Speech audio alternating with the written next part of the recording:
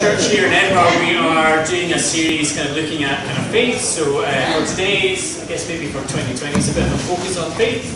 And uh, we're specifically kind of looking at meditation kind of on the Word. Uh, so go into that. Uh, we have been inspired by uh, the book um, Radical Faith by Randy McKean.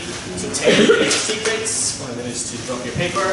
Um, and uh, so for today we're going to look at one of those. The first uh, secret that uh, Randy has is God's Word and potential faith. So the kind of key crux, if you weren't, if you could be bothered to read the book, would be more of God's Word uh, gives more potential faith. So uh, the more kind of word we have, the, the crux and the premises, that the more potential faith we have. Mm-hmm. And I guess the potential, the, the ways to have more word of God's word, there's the ability to either kind of read more, so you could uh, read lots and lots and lots of the Bible, so more pages. Uh, you could read more deeply, so um, or you could, and also kind of the frequency as well, so you could do these kind of things. So uh, today's um, uh, and this is probably the key, or one of the, the key messages that comes from uh, the book, Romans 10 17, where it says, Consequently, faith comes from hearing the message, and the message is heard through the word about Christ. So that's the, the kind of the, the essence of, of kind of today's parts. Uh, today's sermon is going to be looking at kind of meditation uh, and meditating on the Word, so looking more at depth, so not looking at covering uh, vast tracts of the Scripture, but looking at uh, how to, to look at it in a deeper kind of way. Um, and today's kind of a lesson comes inspired by a sermon by Timothy Keller, so um, much of it is just stolen from him. And there's three kind of uh, um, focus on faith, meditation, and the Word. So we look at our perspective, so to delight uh, in the Word, a promise uh, to grow through the Word, and a practice on how to meditate on the Word. So these two things. And uh, Psalm 1 is going to be the key kind of passage. So if you have your Bibles, open it or press the right buttons to get to that page. Usually electronically. Uh, so this is really going to be the the kind of the, the crux of, or the key kind of uh, passage from, from today's uh, kind of lesson. So read through that, and you can basically have the Bible open there. We're not going to flick around kind of too much.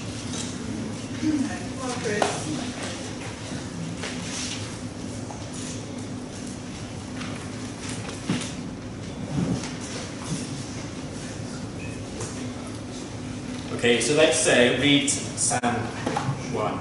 It says, Blessed is the one who does not walk in step with the wicked, or stand in the way that sinners take, or sit in the company of mockers, but whose delight is in the law of the Lord, and who meditates on his law day and night.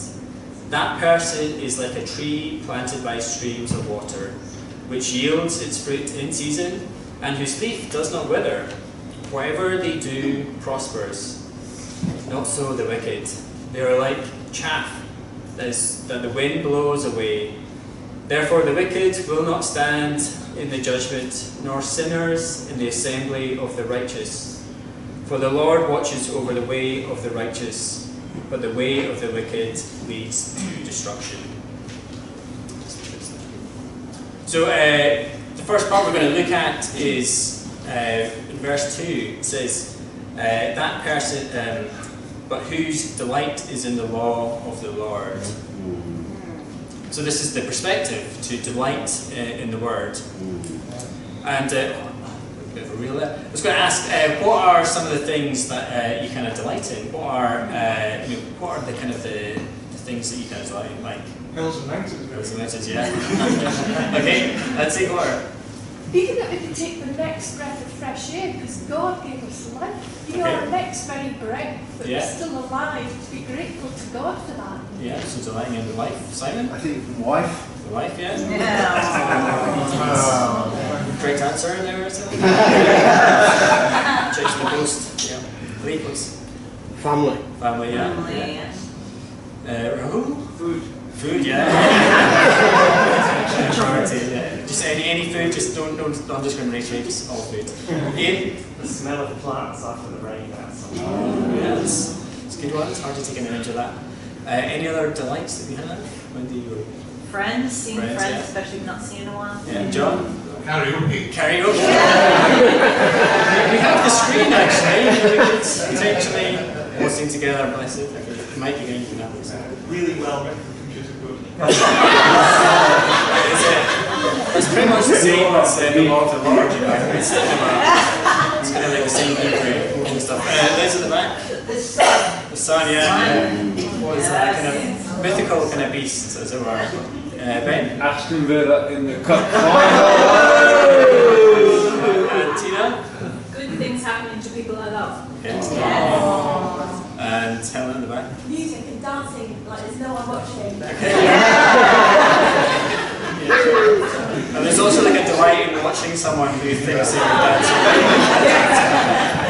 comedy about it. Okay, uh, so yeah, there's lots of kind of things that we kind of um, kind of delight in. I, I was kind of thinking about having like a, a delight kind of bingo. I was thinking if you could, what we could do is ask that kind of question and like have a range of things that would kind of come up. And I was kind of pretty sure someone was going to say football. Um, and I thought like, it's probably probably going to be Ben, maybe Ali, or kind of Goldie, but sometimes. Depending on which team it is, there's less kind of delight and more just you know, can decide which one you are in that. But yeah, so for me, I think some of the things that kind of stand out to this is just kind of uh, being out, outdoors, kind of being able to be in the, the kind of wilderness. Um, I think being able to have food after that as well. So kind of these uh, sort of landscapes and places you kind of know. Uh, maybe the kind of the friendships and the connections as well. So uh, you can try and see yourself if you can. Uh, the kind of obviously. Obliged, contractually obliged to kind of put that up once in a while. Is that enough?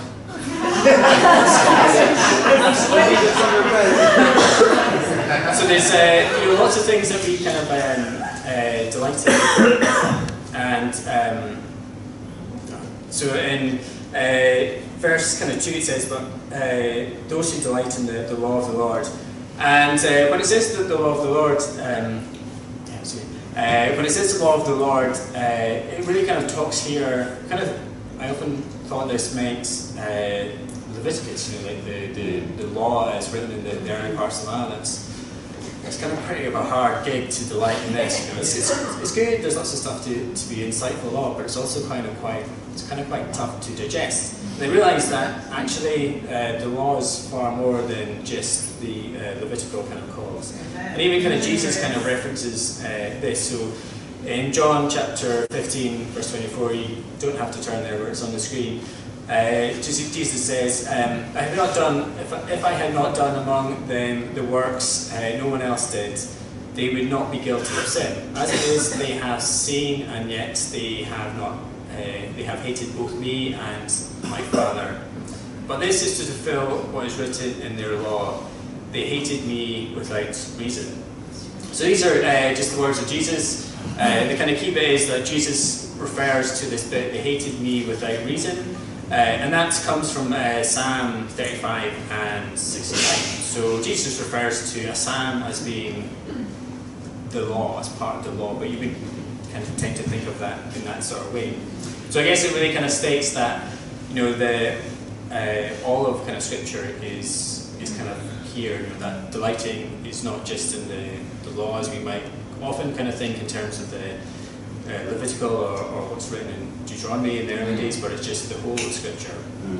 Yeah. Uh, so I guess there's the kind of the question for us, like what do we kind of delight in? You know, is the law, is the Scripture something that we kind of delight and take pleasure in? If you think about the things that we kind of mentioned, the kind of the uh, the good food, the good times, the good, good code that's written. There's a beauty and a wonder and an awe in the things that we kind of delight in. We delight in the things that have bring us kind of pleasure. Uh, we delight in the things that have just an intrinsic kind of value. The, the beauty of kind of poetry or dance or, or art or kind of music or things we kind of delight in. And I wonder for myself whether I kind of delight in the word. Often it's just a thing that we kind of do to kind of get through maybe the really bad computer code that you have to do just to get things done, or the not so good kind of music, or the, the food that's a bit kind of boring, or the football games that don't quite go your way, as it were. But the, the scripture really says that there's the potential, there's a perspective that we can have to delight in the Word. So that's the perspective. Uh, we'll look now at the promise, so to grow through the Word. So again, Psalm 1, uh, scripture, and these are the parts that relate to this. So blessed is the one. So the blessed is the, the kind of the promise of blessedness, and that person is like a tree planted by streams of water, which yields its fruit in season, and whose leaf does not wither. Wherever they do prospers. So the promise to grow through the word. Um, and blessed is, it's kind of like a tree. So it uses a metaphor, so it doesn't say you're literally a tree, obviously that's not what you're there. Um, and it describes kind of, I guess, uh, three characteristics of the tree. So there's a, a tree and it's like it's planted by streams of water, that it yields its fruit in season, and its leaf does not wither. So we'll look a little bit about each of those uh, kind of elements. Okay. So like a tree planted by streams of water. So um, a tree that's planted by streams of water has access to water. It's a bit of a profound statement that none of you would have, would have thought. Uh, it enables it to kind of endure uh, times of drought. And the depth of the root and closeness to the water enable it to experience kind of stress. Uh, so this is a picture, for those that can see uh, and might be able to recognise, it is a, I guess a satellite image, or it's a map actually, um, of the, the Nile. Uh, so the Nile is the big green bit, uh, going through, I guess, the not so green bit. Um, and uh, the not so green bit is obviously kind of the deserts, and the green bit is the, the, the life. Uh, and you can see just how, um, in a short kind of distance, there's nothing. It's such a, a stark kind of contrast between the, the desert uh, and the, the Nile. And obviously, the green bit you're seeing is actually the river you wouldn't be able to see because it's so small and thin. But the, the green that you see is just the, the life that's able to be there, that's able to uh, be fed and watered and uh, through the, the, closeness to, to the Nile. Uh, such a contrast to to the surrounding areas. It's quite a, an unusual analogy, especially here in kind of Scotland, where you probably don't need to be that close to a river to um, to kind of uh, to have an ample supply of water. Uh, it's probably more dangerous actually being close to a river because you're more likely to get flooded or, or washed away. Um, and we can think as well about how Jesus, uh, when he met with the uh, Samaritan woman at the well, kind of talked about um, the living water that, that he would give, that he would be able to provide this water. So Jesus said in John 14, Indeed, the water I will give them become will become in them a spring of water welling up to eternal life. So this is uh, one of the characteristics of those that um, uh, kind of delight in the, the word and, and able to kind of go through it, that are planted um, by, a, by a river. And like a tree, it yields its fruit in season. So I guess the characteristics of that, it is fruitful, um, but it's not always fruitful. It's not a tree that is ridiculously in fruit every moment of time. So there are times when it has fruit, uh, when it's in season, and there's times without fruit when it's not in season. Um, and both are still blessed, because uh, it says, "Blessed is uh, the person that's like a tree who is this." So it's doesn't say that it's blessed when it's in the season of fruit, and it doesn't say it's blessed when it's not, uh, by definition there. So for us as well, we can go through periods where we might feel like we are bearing fruit or we are fruitful, and however you want to describe that, and times where that might not be the case. But uh, the tree can um, is blessed moments as well. And like a tree, um, its leaf does not wither. So uh, this kind of statement provides us a couple of things that there is the potential for it to wither. That uh, by definition it doesn't wither, but maybe it could. Uh, so there are, there's the implication that there's going to be a time of testing, a time of stress. Uh, there's the potential for that leaf to dry out. Uh, and the thing that kind of stops it from drying out is the depth of root that uh, allows the tree to get access to the water because it's close to the, the, the stream, um, and then also kind of minerals. And uh, that's the kind of the, the, the key component, component that helps it to, to not dry out. Um, and for a thing to kind of grow, uh, for a plant to kind of grow, that's why uh, for those who've done biology, anyone uh, in their or recently, uh, it's just a, a symbol of kind of photosynthesis, uh, which is easier to uh, explain than to say. Uh, and that's the kind of conversion of sunlight, the energy from sun, uh, into sugar, uh, and also one of the byproducts from that is kind of oxygen um, and water as well. And so one of the things for how a, a plant or a tree kind of grows, so um, a tree can grow at all times, and it needs, I guess, kind of two kind of key components for it to kind of grow.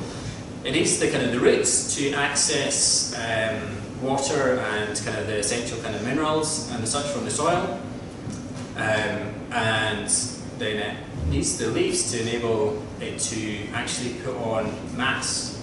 So if you think of a tree growing and it changes from weighing uh, say a tree weighs you know 100 kilograms and then in 10 years time it weighs 120 kilograms.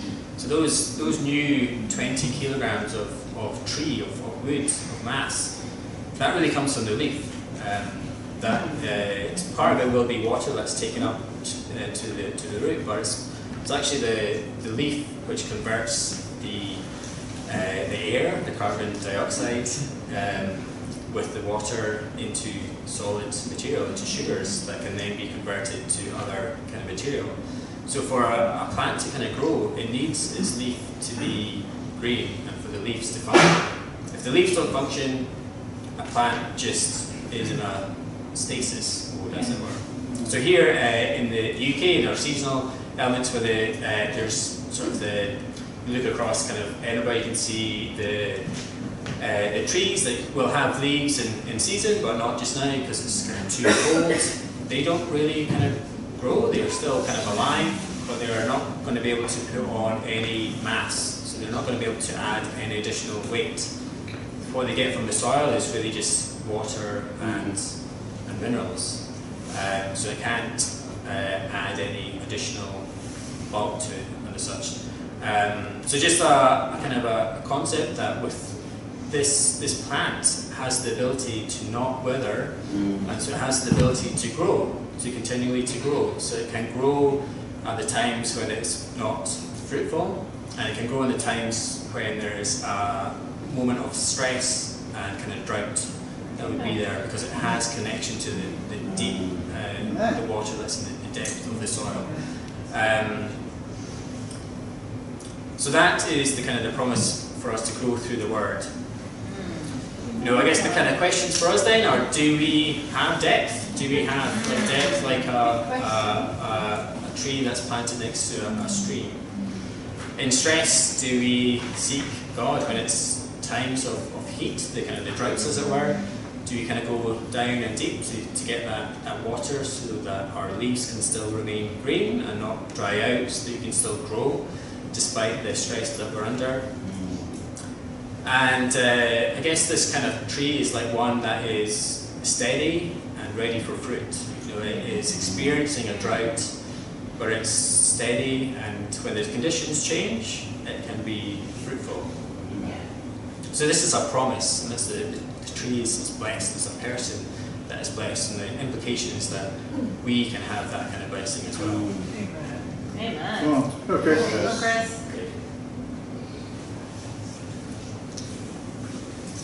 So we look then um, at uh, the perspective, um, which is to delight in the Word. We looked as well at um, the practice, uh, the promise. Well done, you are paying attention. Um, so we looked at the promise um, of how to uh, kind of grow through the Word as well. And now we're going to look at the the, the practice to meditate on the word. So again, this is Psalm 1, uh, you should hopefully still be there. So, and the key bit here is, uh, so blessed is the one, it's a blessing who does not walk in the steps with the wicked, or stands in the way of the sinners, take, or sit in the company of mockers, but those who delight in the law of the Lord, so that's the perspective, and who meditates on his law day and night, so that's the practice. And the promise, that person is like a tree planted by streams of water, which yields its fruit in season, and whose leaf does not wither, whatever they do prosper. So let's look at the practice to meditate on the word. Um, and uh, um, I was kind of thinking, like, meditating on the word, it sounds kind of really weird. Uh, it's not something I kind of know how to do. And uh, as I kind of mentioned, uh, much of this kind of sermon, especially this part, is really based uh, or inspired by uh, a sermon I listened to by Timothy Keller.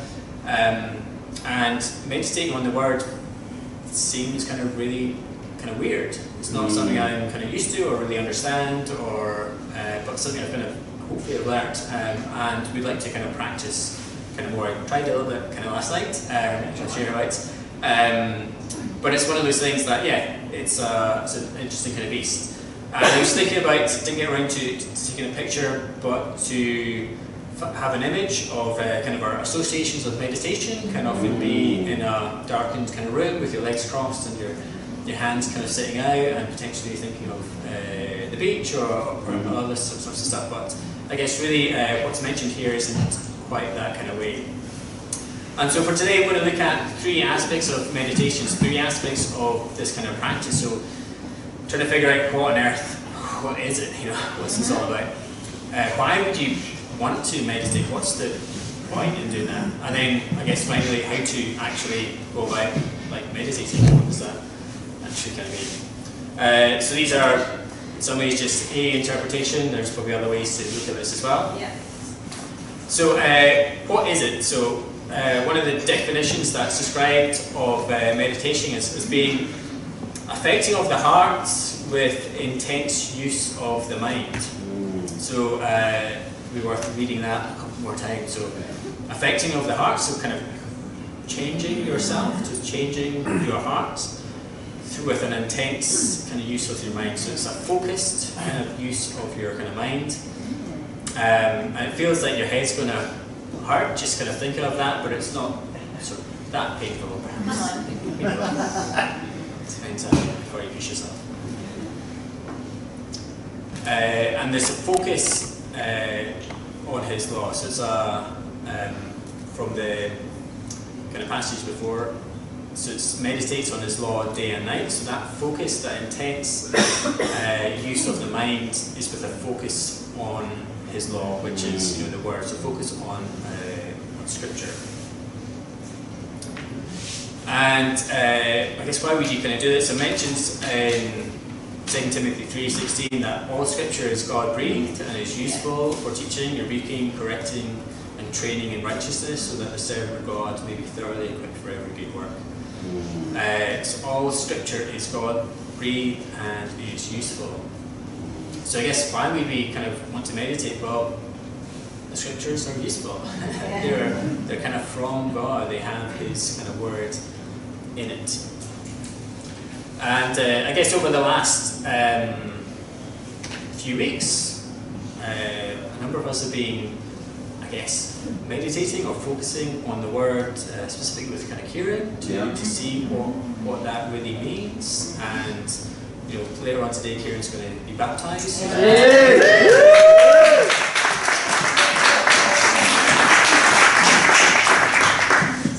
many ways, it's like the affecting of the heart through that intense uh, use of the mind. Um,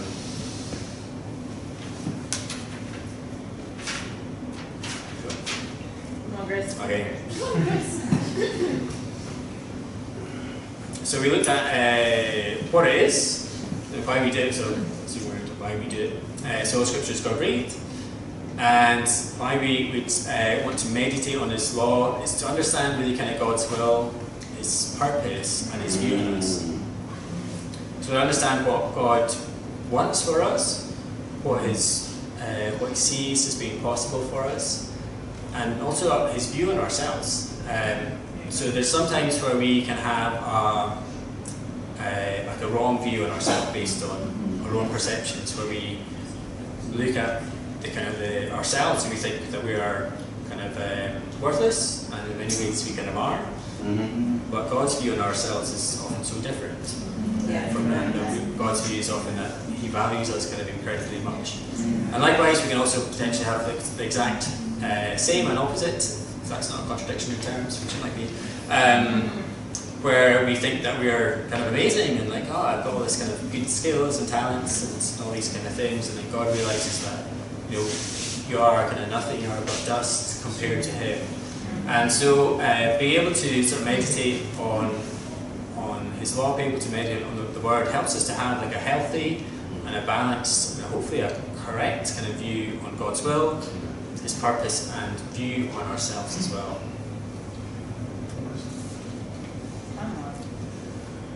And so we need to kind of see, I guess, the, the Word as being, the Bible as being uh, something of law, of, of authority, uh, so that it can be a, something of love to us as well. But we need to see all the scriptures being kind of God breathed. Um, otherwise, we end up choosing which bit is correct or not.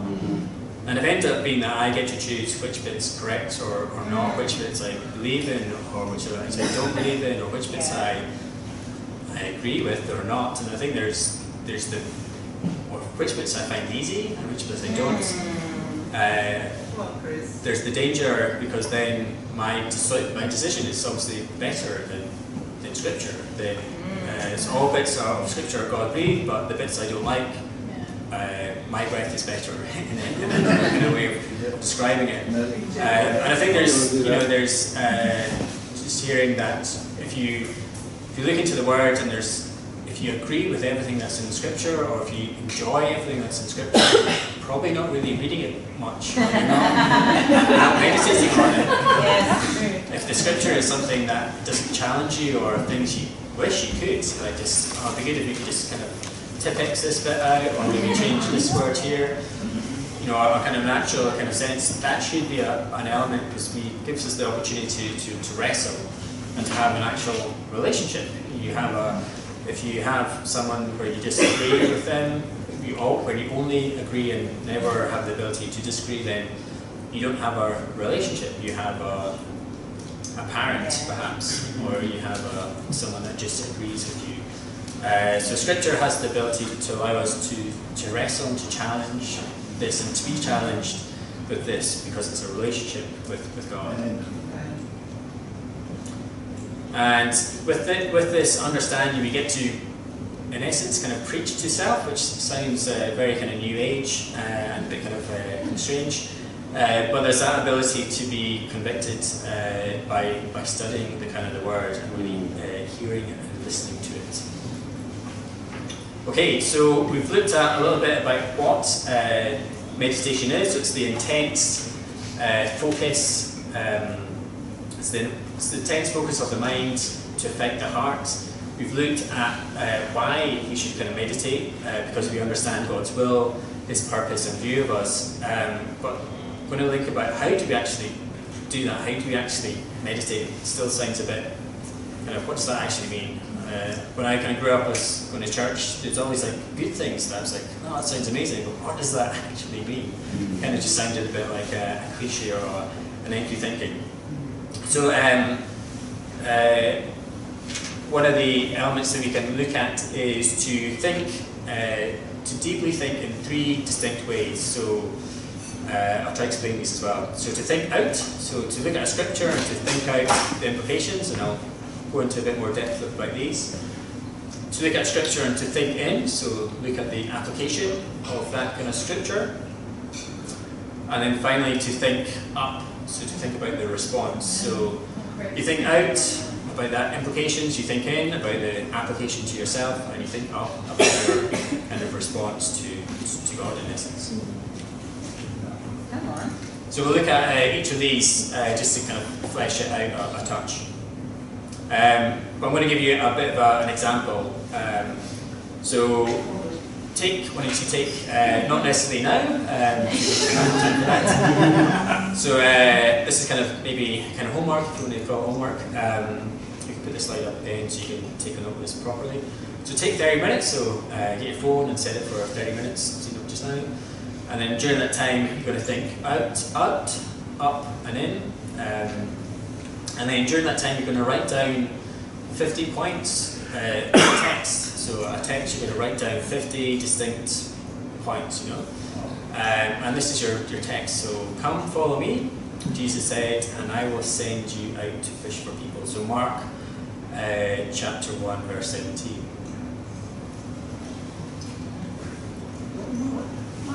And um, sounds kind of daunting, doesn't it? Yeah. Or kind of like, oh, I can do that for like 30 seconds. and like 50 points, it's like, like kind of crazy.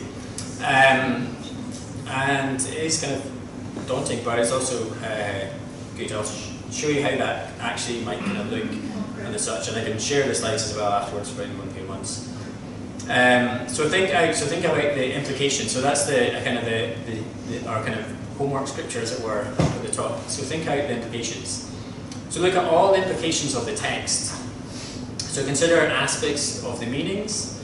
Another way you can help to kind of to do this is to um, emphasize each word to kind of help you kind of along. So you can read, uh, as you read it, you can um, read like, come, follow me, come, follow me. Uh, so I'll show you that a little bit more as well. Um, so what does each word kind of bring? And what is missing or what would be different if a word was changed? So these are just um, uh, useful kind of ways to help frame that, thinking about the implications. So a brief example or example of, of that with the scripture. So um, emphasize each word. So it could be, come, follow me, Jesus said, and I will send you out to fish for people. Come, follow me, Jesus said, and I will send you out to fish for people. Come, follow me, and Jesus said. Uh, so it kind of repeats kind of a, a bit, but you have 30 minutes, so it's, uh, it's okay, you have the time to do that. And repeating and emphasizing each of his words Yeah. brings something a little bit different out, as it were, uh, as it did for me. The other option is to kind of remove each word. So how does this change the meaning? So we have come follow me, Jesus said. Follow me, Jesus said. Come, Jesus said, and I will send you out to fish for people. We kind of took out follow me because uh, it doesn't make sense. We just uh, and then come follow, Jesus said, and I will send you out to fish for people. So what? How, how does each of those three kind of change their meaning kind of subtly um, as a result of removing those kind of words? So that's kind of the, the thinking out. So, so thinking out the um, the implications. Uh, the yeah. Um, and now we're going to think in. So thinking in about the application. So uh, so the scripture is kind of talking kind of to you. Um, how do you apply this scripture to your own soul? What I've just looked at from thinking out, what uh, what do I learn? How does that kind of apply kind of to me? Too much to say about that. There is um, a couple of psalms actually that kind of uh, give you a bit of an illustration on this. Um, actually,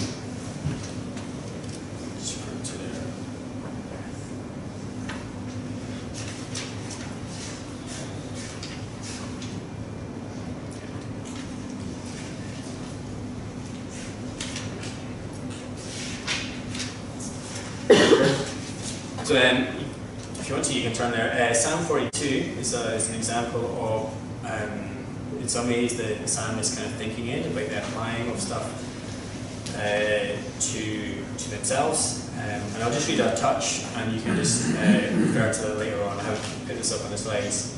So Psalm 42, it says, As the deer pants for streams of water, so my soul pants for you, my God. My soul thirsts for God, for the living God. Where can I go to meet with God? My tears have been uh, my food day and night, but people say to me all day long, Where is your God? These things I remember as I pour out my soul. How I used to go to the house of God under the protection of the Mighty One, with shouts of joy among the, uh, the festive throng. Why, my soul, are you downcast? Why so disturbed within me? Put your hope in God, for I will yet praise Him, uh, uh, my salvation and my God. My soul is downcast within me. Therefore, I will remember you from the land of Jordan, from the heights of Hermon, from Mount Mizar. Deep uh, calls to deep. In the roar of your waterfalls, all the waves of your breakers have swallowed me. So I guess uh, you can continue, but I'll, I'll not there. So just that, I guess that portion in verse six. My soul is downcast within me. Therefore, I will remember you from the lands of the Jordan. So there's that kind of uh, self-reflection and application to, to self as well. So how can you apply what you meditated on to this? So what you can apply uh, with regards to come follow me from Mark 1, uh, verse 17. Okay, and then uh, the final bit is to think up, so it's the, the response. So you kind of looked, you've thought out, so you've thought out um, the implications and you've thought in about the application of this the scripture to, to yourself, and now we're going to think up about the response. And there are kind of three uh, areas of response. So there is uh, about rejoicing. So how can I praise God um, as a result of what I have kind of just been looking at? So that's the rejoicing. Uh, repent. So what sin can I confess as a, a result of what I've kind of looked at and what I've heard and, and, learned from there? And request. What do I need to ask God for as a result of what I've just kind of looked at? So you can think about how can I rejoice, how can I repent, and how can I uh, request. So uh, yesterday I um, thought it would be sensible to potentially try and practice Oh. Come on. Um, so I set my timer on my phone for 30 minutes. I kind of, um, and then I just kind of wrote down on a bit of paper this, and then I uh, wrote down number one. So um, on so it's two sides of A4. It's like 50 responses. I think I got to 49 and the timer went out, and then it just, it just smells. Um, and the example, I haven't actually kind of gone through and, and looked at these, but uh, in the um, in the sermon, uh, mentioned that he learned to do this in a, in a class, and they were asked to kind of look at this very kind of scripture. And the teacher said, you know, okay, you've got you know 50, got to write down 50 points in half an hour. So they kind of do that, and then after you've done the 50, maybe circle the, the two or three that are the most uh, important or significant or things like that. They did that, and the teacher then asked, okay, um, which of uh, which of the ones you circled? Put your hands up if the one you circled came out in the first five minutes. No one put their hands up. In the first ten minutes, and no one put their hands up.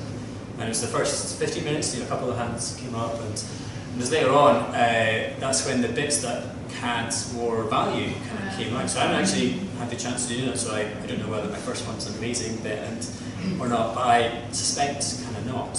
Um, and it was amazing just to um, see, so that's what I kind of did, and it was a bit weird, but it was also really good. It was also really good just to get something from a scripture um, to, to this, and I would kind of like to share some of those points, but um, I think I would rather have you have the experience of, doing that if you, so desire, as it were.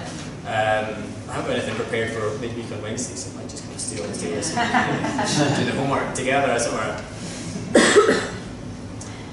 Uh, so yeah, so again, this is the kind of the kind of that kind of call to action, that kind of uh, bit of homework. It's the same sort of slide as before. So take 30 minutes to think out. So think out the um, the implications of, of the kind of scripture. To think in, thinking about the applications to yourself, and to think up, think about the response. So how can I uh, rejoice? How can I praise God? How can I repent? What sins can I, can I confess? And uh, how can I request? How can I come to God to, to ask for things? To write that down, give a give a shot, have a have a go at it. Uh, so we've looked at kind of three elements. You know, uh, this year we have a focus on faith. So just kind of conclude and summarise things up. We have a focus on faith. So we're going to look at um, uh, inspired by, by that kind of uh, that book. Um, and the first faith secret is that with more of God's word, you have the ability to have more potential faith, because faith comes from hearing the word. And uh, more of God's word includes obviously reading lots of scripture. So, Uh, don't spend the rest of 2020 only ever reading one verse for half an. It's like it's, I mean, it's there's a, a value in that, but there's also a value in being able to read tracts and tracks of scripture at Yeah. times. So um, use your, your brain as it were Mm-hmm. which we're asked to do. Uh, and we looked at uh, really Psalm 1 is a, it's a wonderful uh, passage on meditation. And you see three aspects in there. So there's a perspective to delight in the word, and question about whether we kind of delight in the, the word, what is the level of value that we see in God's word. There's a promise described in there about the blessedness uh, is the one who, who delights in the word and um, and how they can grow uh, through the words despite circumstances that will come their way. And then there's a practice, some of that kind of practical elements of how to actually kind of meditate uh, to make a bit more kind of sense of it. So I hope that uh, is of kind of use and will be uh, a good kind of application for yourself as well. So we're going to look again uh, at Psalm 1, but this time uh, leading us into thoughts on the communion. So we haven't taken uh, communion, so we're going to take a communion in many ways based on, on Psalm 1 um, and some thoughts in there. So if you should have your Bibles over there, um, we'll read the Psalm again. And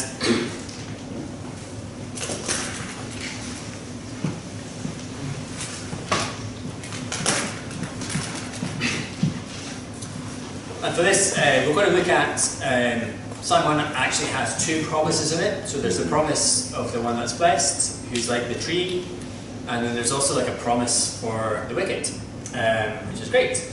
Uh, so, and um, as we prepare to take communion um, and we think about uh, the, the law, or think about any law, like a law can be fulfilled in, in one of two ways. So you can fulfill a law by keeping what you're by doing what you're meant to do in it. So if you think of, um, I guess, texting while you're driving, that is kind of against, uh, it's criminal law, but definitely a motoring offence. So to keep that law, you either uh, don't text when you're kind of driving, and then you're keeping it. The other way to keep a law is by paying the penalty if you um, are found texting, even if you're kind of at the traffic lights or those things that might be a bit kind of more disputable. Uh, you pay the penalty, so you get the three points on your, your license and the, the fine. And both of those elements have kept the law. So the, the one that hasn't texted has um, kept what the law kind of requested, and the one who has been caught and has paid the penalty, has got their points and their license, have also kept the law because they have paid the penalty for that. So there's only kind of two ways in which a, a law can be fulfilled. And uh, if you read kind of Psalm 1, you can think about Jesus, um, and uh, he, in essence, kept both parts of the law. So he kept the part of uh, following the, all the commandments and all the, the laws and the decrees kind of perfectly, that he was with, without sin. So there was no, he kind of wasn't texting when he was driving. Yeah. to put it, to put it this, in the, the way, I'm pretty sure he had a hands-free set anyway in his car. um. But then he also fulfilled the law as well because he, he believed that he died and suffered for our sins, and he also paid the price. He also paid the penalty uh, of our sins. And we're going to read uh, Psalm 1 and compare and contrast the blessedness of the, the one that is near, that's described as the tree, um, and the, uh, the chaff that is described as the, the wicked one. Um, and then we'll pray and we'll take uh, it says, uh, Blessed is the, is the one who does not walk in steps with the wicked, or stand in the way that sinners take, or sit in the company of mockers, like Jesus did, but whose delight is in the law of the Lord. Again, Jesus delighted in his law, and who meditates on his law day and night. That person is like a tree planted by streams of water, which yields its fruit in season, and whose leaf does not wither. Whatever they do prospers. Not so the wicked, what Jesus became. They are like chaff. So no root, no substance, no value. That, are blow, that the wind blows away. Therefore the wicked, will not stand in the judgment, nor sinners in the assembly of the righteous. For the Lord watches over the way of the righteous, but the way of the wicked leads to destruction. So as we take the, the communion, we re- remember that uh, the way the wicked led to destruction. In many ways, it led to the destruction of Christ and the cross. Um, but there's also the promise and the hope that we get to be blessed despite that, that we get to be one that can be described as being blessed because we get to draw near the waters that, that are in Him and the eternal life that He provides.